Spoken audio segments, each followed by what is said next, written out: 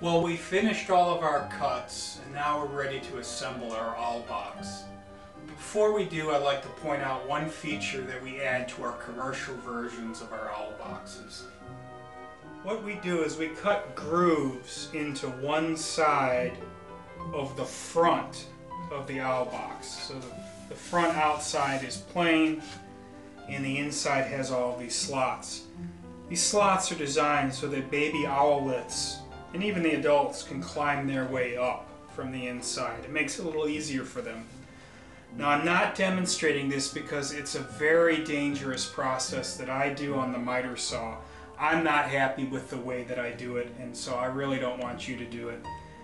If you do choose to cut slots, I'd recommend using a hand tool such as a chisel, perhaps a Dremel, um, anything to kind of scrape some lines in to allow them to climb up. Some people will staple some uh, screen material or something like that to the inside to make it easier. Do whatever you think is best. Uh, again, it is a dangerous process to do on a miter saw. You can't do it free form. You might be able to do it on a table saw uh, or a router. All of those are dangerous tools that I don't really want to get into in this video. Um, it's optional. I don't think it's going to hurt very much if you don't put them in there. Uh, but it's not a bad idea if you do either. So it's up to your discretion. So let's go over the pieces we have now. We have the smallest piece, which is going to be the bottom. We have the front, which is a longer piece, about 15 inches. In this case, I've cut the slots into the one side. The top, the top you can always tell because it has the bevel cuts.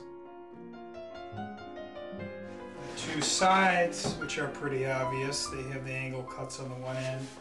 And the longest piece will be the back. So the first thing we're going to do is we're going to attach the front to the two sides. So grab your two sides and your front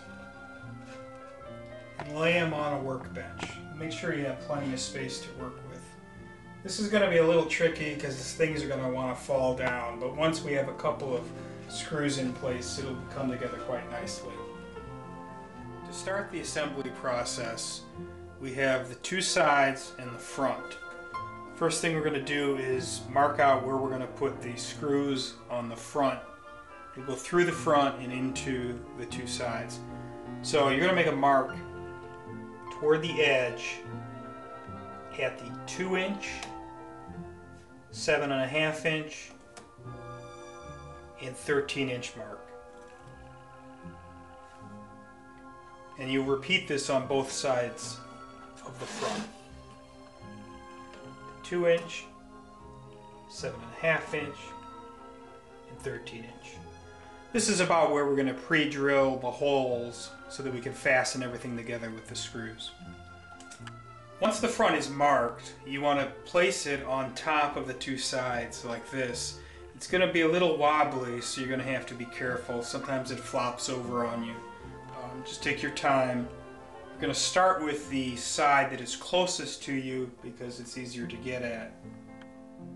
The important point here is to align the bottom of the front piece with the edge bottom of the side. You can see that they are perfectly flush with each other here and they're flush on this edge also. This is the alignment that you want.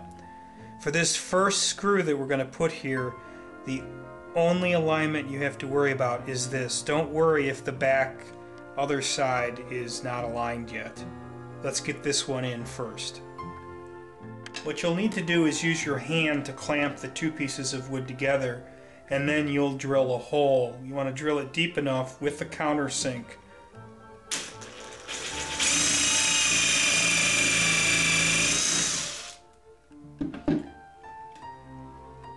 Now we have the hole drilled and it has a countersink. The 1 and 5 8 inch screw, place it into the hole. Make sure that everything is stayed aligned. You want to be aligned on the outside and aligned on the bottom. So it might shift a little bit, so hold it in place carefully with your hand.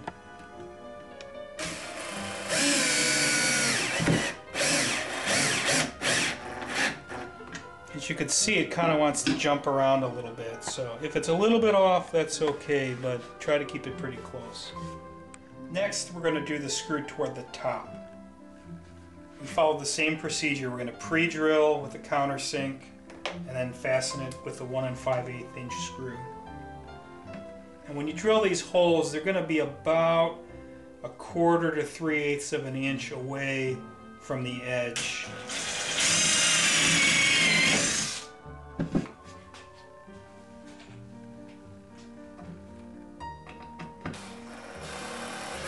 And again, as you're fastening this, make sure that the wood here is flush between the edge of the front and the side.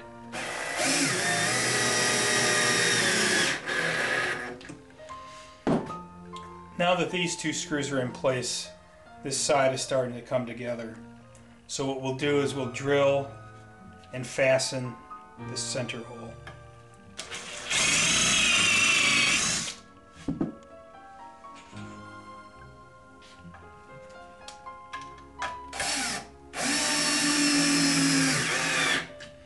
That's one side complete. Now that the one side is fastened, let's rotate the entire unit so we can get at the other side.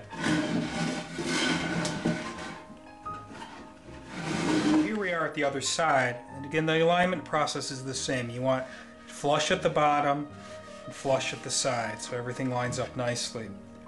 Now here you can see an important point you need to watch out for with this pine is that you'll often have knots along the edges.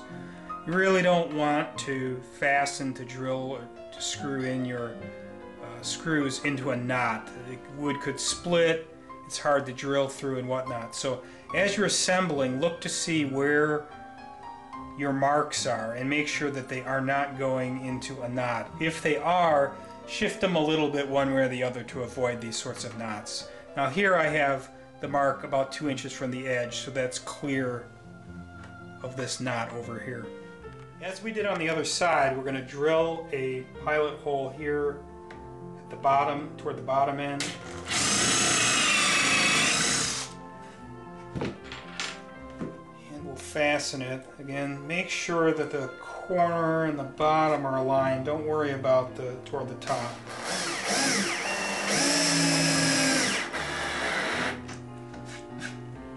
Now we're going to move to the top. We're going to pre-drill again making sure that the front and the side are flush.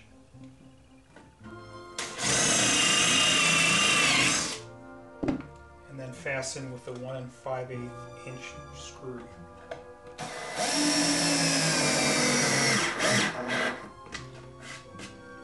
And finally we'll do the center on this side.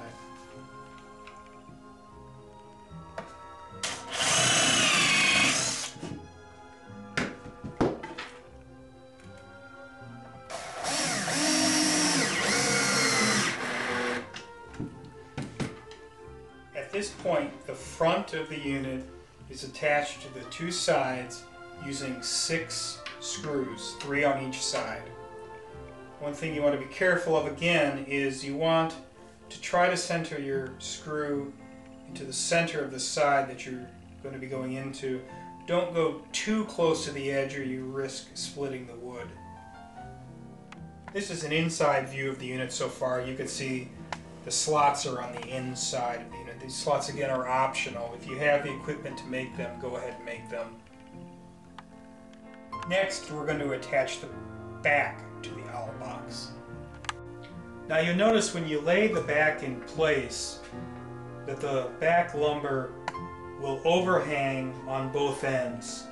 There's a reason for this overhang. This is where the unit will be attached to the tree. There'll be two holes drilled in the bottom and two holes in the top. So we need the overlap. Toward the bottom of the owl box, and again this is the flat part of the owl box, not the angled side, you want to make a mark on the back about two inches from the end. So this is basically allowing two inches of overhang on the bottom. And then align the back to the bottom side edge here so that the two inches is overhanging. The exact distance is not critical, but it should be within a quarter to a half an inch.